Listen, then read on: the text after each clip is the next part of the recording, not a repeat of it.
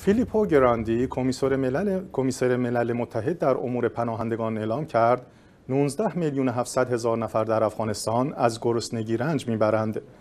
ماری آلن مکگروتی نماینده برنامه غذایی جهان در افغانستان هم گفته است که کمک های غذایی و حمایت های معیشتی استراری راه نجات مردم افغانستان است. در این راستا ریچارد ترانچرد نماینده سازمان خوراک و زراعت در افغانستان می‌گوید هرچند سطح کمک های بشردوستانه با تمرکز بر تقویت مسئولیت غذایی تغییراتی را ایجاد کرده است اما وضعیت مسئولیت غذایی همچنان وخیم است. کمیسر ملل متحد در امور پناهندگان در بخشی از سخنانش به وضعیت بحرانی مسئله آموزش در افغانستان نیز اشاره کرد.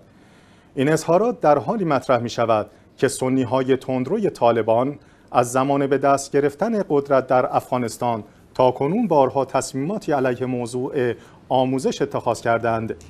منع دختران افغان از تحصیل یکی از این تصمیمات است.